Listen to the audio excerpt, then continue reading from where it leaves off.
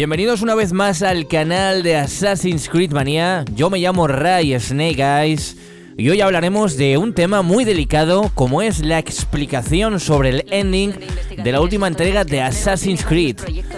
El final de Syndicate nos dejó con muchas dudas y es que desde siempre a Ubisoft le ha gustado dejarnos en Assassin's Creed finales abiertos y en Syndicate no es la excepción ni mucho menos. Algunos fans han quedado muy confundidos con el final de la entrega y en el vídeo de hoy veremos a fondo las teorías de lo que ocurrió en el final de Syndicate, así como los futuros acontecimientos que nos aguardarán en las próximas entregas.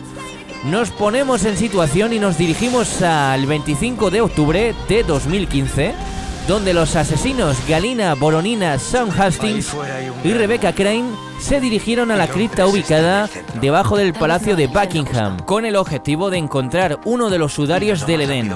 Al llegar se encontraron con Isabel Ardant, miembro de la Inner Sanctum, de la Orden Templaria con Giovanni Otsoberg, líder del equipo Sigma, y con Violet da Costa, agente de campo del equipo Sigma. Al darse cuenta de esto, los asesinos decidieron ocultarse en el humo de sus bombas para atacar con el efecto sorpresa. El resultado de la batalla fue este. Galina pierde sus hojas ocultas, Isabel Ardán muere a manos de un cada vez más valiente Son, honrando su promesa de seguir el ejemplo de Desmond, y Otsoberg es casi asesinado por Galina. En cambio, Rebecca recibe un disparo de una bala, evitando que este alcance a Son. Galina neutraliza al resto del equipo Sigma que aparece durante la batalla y Violet huye con el sudario, llevándolo posteriormente al laboratorio de Álvaro Gramática. Llegados a este punto es cuando comienzan las dudas. Gramática dice que construirán a un precursor desde cero, pero, ¿cómo planean hacer eso? Recordaremos que el sudario no puede resucitar a los muertos, más solo puede evitar que los vivos mueran. ¿Cómo funciona eso? El sudario analiza el cuerpo de la persona y hace un dibujo de cómo debería estar el cuerpo. Posteriormente hace que las células se regeneren, haciendo quedar el cuerpo como debería estar. Pero, ¿qué ocurre cuando el sudario toca a un muerto?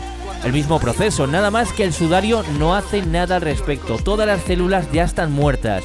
Lo que quiere Gramática es que el sudario analice los restos de un precursor y que reconstruya las células de otro cuerpo vivo. Por ejemplo, uno de los clones que Gramática hizo. Así planean crear un precursor y luego extraerle una muestra completa de ADN y revivir sus memorias, descubriendo así la clave para crear piezas del Edén. Y tú mismo te preguntarás, ¿los templarios sirven a Juno? Aunque es muy posible que Juno haya creado la Orden Templaria, en los tiempos modernos la Orden ha cambiado. Ya no buscan reclamar la tierra para Juno, como lo hacían los primeros templarios cerca del año 75.000 a.C., sino dominarla ellos mismos. Por ello, Juno los odia y creó a los nuevos templarios, los instrumentos de la primera voluntad, para dominar el mundo. Violet Acosta es uno de los instrumentos, una seguidora de Juno. Lo que quiere Juno es, una vez más, que los templarios hayan creado el cuerpo de un precursor, tomarlo y dominar el mundo con él.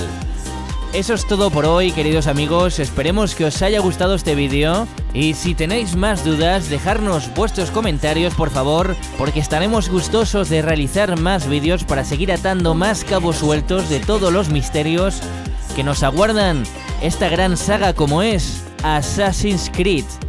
Ha sido un placer y nos vemos en la siguiente. Adiós.